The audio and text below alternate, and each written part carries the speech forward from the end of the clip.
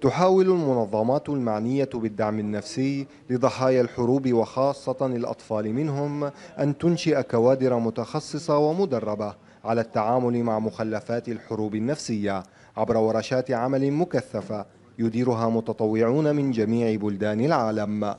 الحقيقة أنه نحل المشاكل النفسية اللي بيعاني منها الأطفال بالشكل الأمثل هو من أولى المهام اللي عنا لذلك نحن بحاجة دائمة لصقل خبرات الكادر الموجود اللي عم تعامل مع الطفل بشكل مباشر حتى يحلها بالطريقة الأمثل والأنجح هنا في منظمة مرام يخضع كادرها لورشات عمل على مدى عدة أيام وضمن محاور متعددة.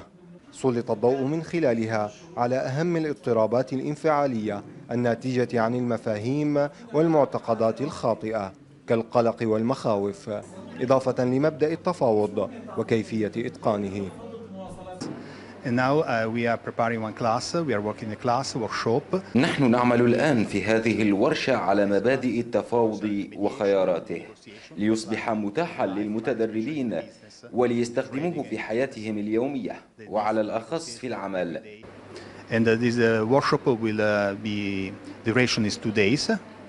ستستمر هذه الورشة لمدة يومين أتمنى أن تكون مفيدة للمتدربين في عملهم مع اللاجئين Who's food for refugees?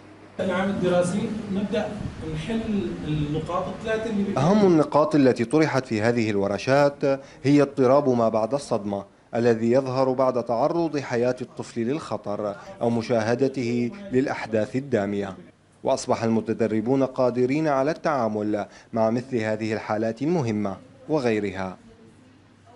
التعامل مع الصدمة هي أكثر شيء هلأ نحن بهالحرب أكثر شيء عم نشوفه هو الصدمات صدمة الموت آه، صدمة آه، ذوي الإعاقة اللي بتروح له إيد بتروح له إجر. هاي كلها صدمات كثير بشعة. نحن كيف رح نتعامل معاهم لأنه جدا هذا أهم موضوع حاليا موجود عنا. الفقدان كيف التعامل معه؟ هو شيء ضروري ولازم صار نعرف نتصرف فيه. ما لازم نوقف على الحياد. ارتفاع أعداد الأطفال المتأثرين نفسيا مما يجري على الساحة السورية. استدعى المنظمات الإنسانية لبناء كوادر متخصصة لمساندتهم. فهنا وعلى مدى عشرة أيام وضمن ورشات مكثفة يكتسب هؤلاء المتدربون خبرات جديدة في التعامل مع الصدمات الناتجة عن الحروب على أمل أن يستخدموها في عملهم في مراكز الدعم النفسي. عمر دندش أورينت نيوز من مدينة الريحانية التركية.